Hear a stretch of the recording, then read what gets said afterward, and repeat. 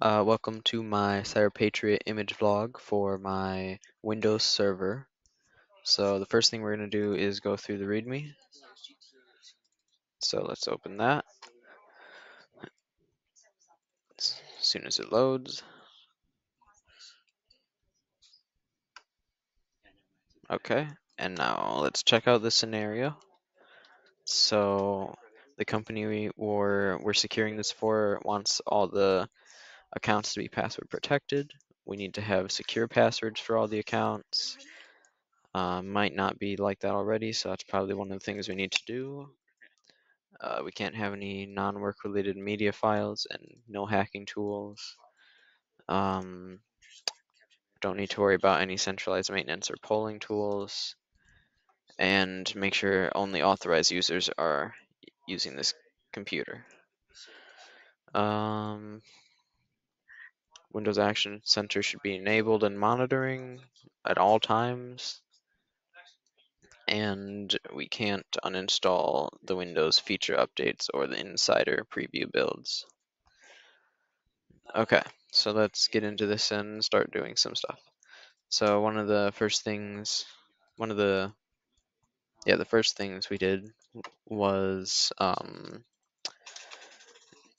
the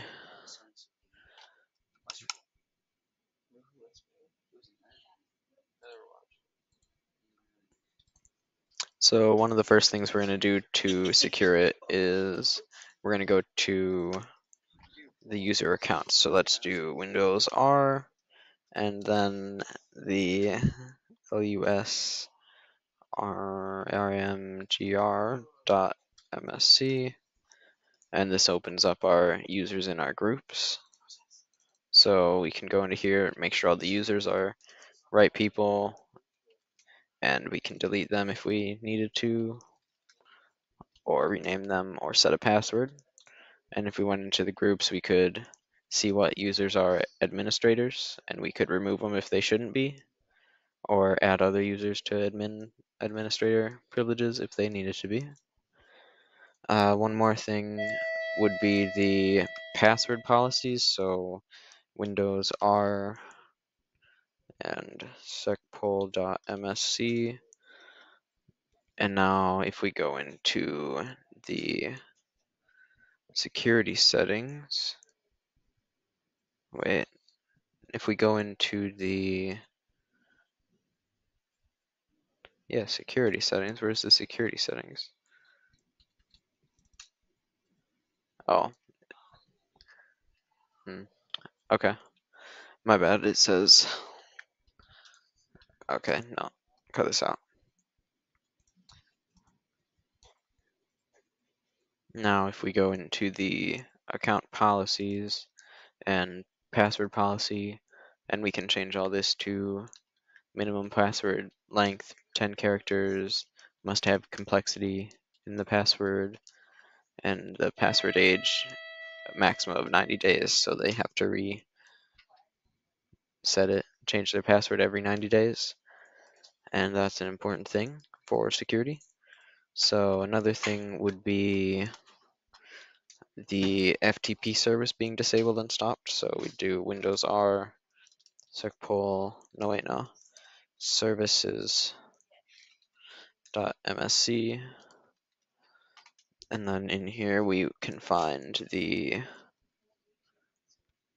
Microsoft FTP service.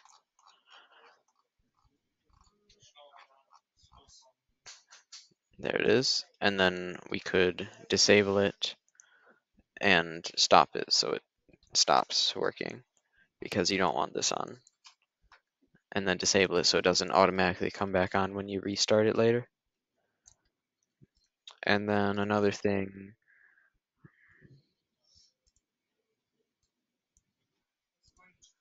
another thing would be we can check for the hacking tools that it said in the README. So we'd go to control panel